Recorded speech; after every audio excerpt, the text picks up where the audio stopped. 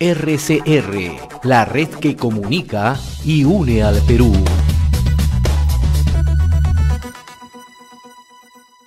agradecemos la amabilidad que tiene desde Arequipa al ingeniero Isaac Martínez, es gerente de Autodema, especialista en temas hídricos. Qué gusto saludarlo, mi estimado ingeniero Isaac Martínez, muy amable. ¿Cómo está usted, señor Hernández? Muy amable por su, eh, por su invocación a que conversemos. Gracias. Ayer se ha suscrito la adenda número 13 del proyecto Majesigua 2, ¿no? en Lima, con la presencia de la gobernadora Kimberly Gutiérrez, ¿no? y también los representantes de la empresa Cobra, ¿no? ¿Esta es una medida acertada desde su punto de vista? Sí, mire, eh, yo soy arequipeño, he sido director ejecutivo tres veces del proyecto Mages, conozco el proyecto Mages y yo he venido luchando desde la eh, vida particular, porque yo no soy empleado público en este momento, he venido luchando para que esta adenda 13 se firme puesto que había la posibilidad de que haya una resolución de contrato y el concesionario cobre un lucro cesante sin hacer nada. Ha sido un poco difícil, muy difícil, porque fíjese, han transcurrido, ya van a ser cinco años, ya han habido marchas y contramarchas, los consejeros no conocían el proyecto, ha habido muchísima dificultad, hasta los congresistas de Arequipa se han opuesto al proyecto Majes y eso por su filiación política que ya conocemos todos, ¿no? Que se oponen a todo y, creen que el Estado este, tiene tanta plata como para regalar a, todo el mundo eh, y eso no es así, así no funciona el Estado. Un proyecto debe tener viabilidad económica.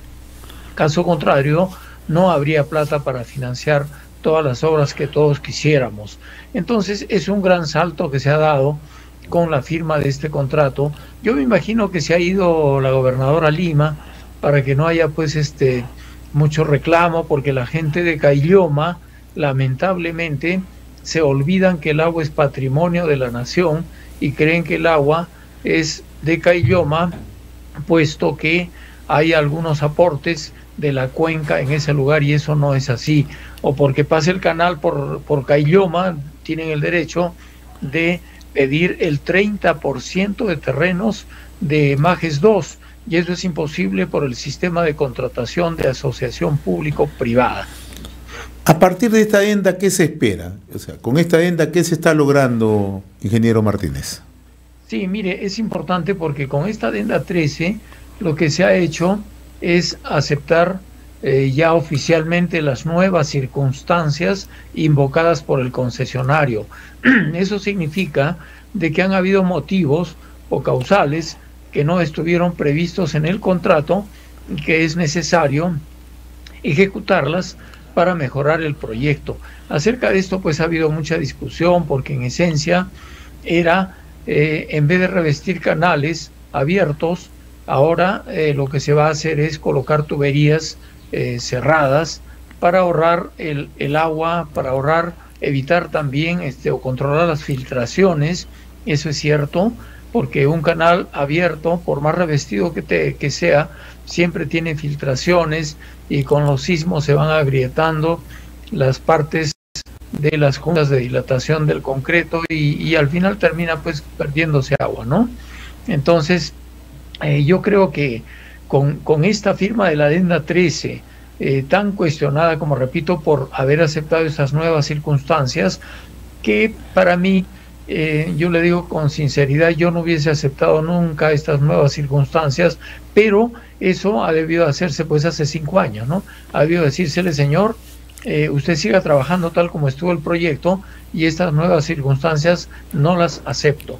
Y si no aceptaba el concesionario, se le resolvía el contrato pero se ha dejado pasar casi cinco años sin responder al concesionario su propuesta y se han generado causales de resolución a favor del concesionario y en contra del gobierno regional. Entonces, para mí es un gran paso el hecho de que se hayan puesto de acuerdo para evitar estas controversias que definitivamente el gobierno regional salía perdiendo y el país en general. Entonces, ya con esto tenemos oficializada la continuidad del proyecto y qué es lo que eh, falta ahora.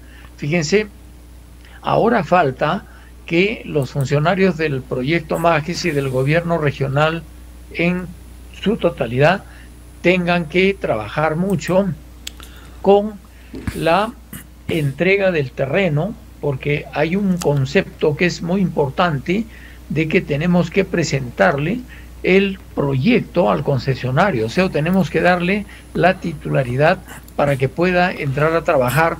Es el caso de los terrenos de la laguna de Pusapusa, que todavía está incompleta, incompleta la gestión para que haya libre disponibilidad del concesionario. Eso tiene que hacerlo el proyecto Mages en seis meses y el gobierno regional también tiene que pagarle una quinta parte de lo que se ha pactado, eh, tiene que pagarle al concesionario y también el concesionario, sí, y el concesionario también tiene que hacer algo que es muy importante y que ha sido muy cuestionado por muchas gentes y con mucha razón.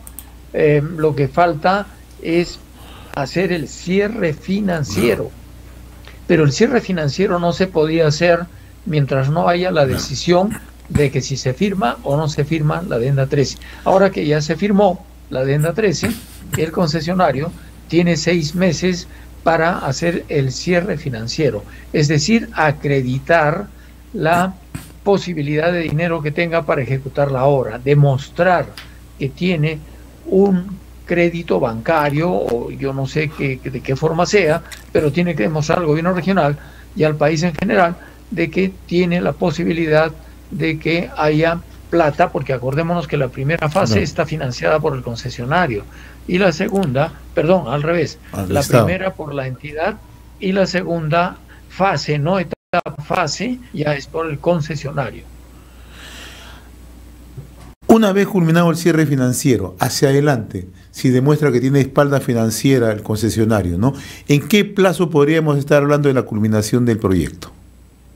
Son cuatro años que se ha estipulado de plazo para la culminación del proyecto, pero hay que tener en cuenta también de que durante esos cuatro años hay una labor fundamental y, muy este, costosa, que es la puesta a punto del sistema de aducción.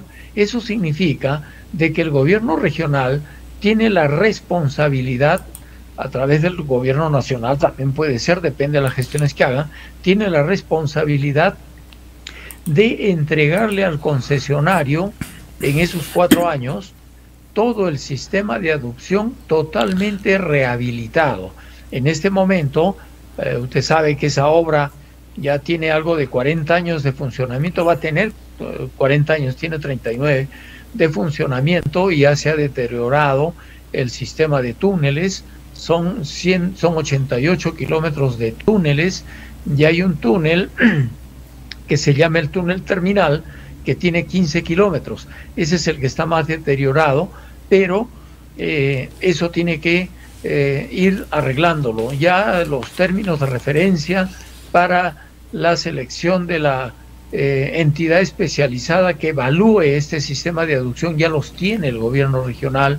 yo no sé por qué ha demorado, ya debería haberlo puesto ya en el proceso en marcha para elegir a la empresa especializada para que evalúe el sistema y luego se elabore el expediente técnico de tal manera de que se cumpla a los cuatro años. Ahora, no necesariamente también esta urgencia es por el plazo de los cuatro años, sino que este sistema está muy deteriorado y en cualquier momento se puede quedar sin agua la primera etapa del proyecto Majes y eso sería una cosa muy complicada. Entonces, eh, el, gobierno regional tiene la responsabilidad, al margen de, trabajar juntamente con la supervisión especializada y el concesionario, tiene la responsabilidad de eh, poner en marcha el proceso de selección para que se haga la rehabilitación de todo el sistema de aducción de tal manera de que no haya ningún inconveniente con la primera etapa y se cumpla con el compromiso de la segunda etapa de entregarle al concesionario en buen estado los 101 kilómetros del sistema de aducción. ¿Y cuál va a ser el impacto que va a tener Majesiguas de manera gradual Entendemos que hay varias etapas, pero de manera gradual esto va a tener un impacto.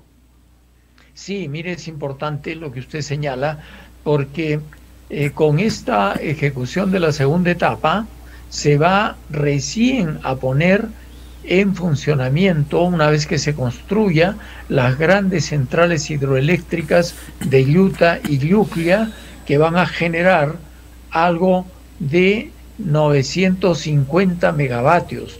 Entonces, eso va a generar trabajo para la gente, igualmente en la construcción del sistema de irrigación, en la construcción de la represa. Se ha estimado que son 150 mil puestos de trabajo directo y algo de 300 mil indirecto, porque usted sabe que todo se pone en movimiento, proveedores, en fin.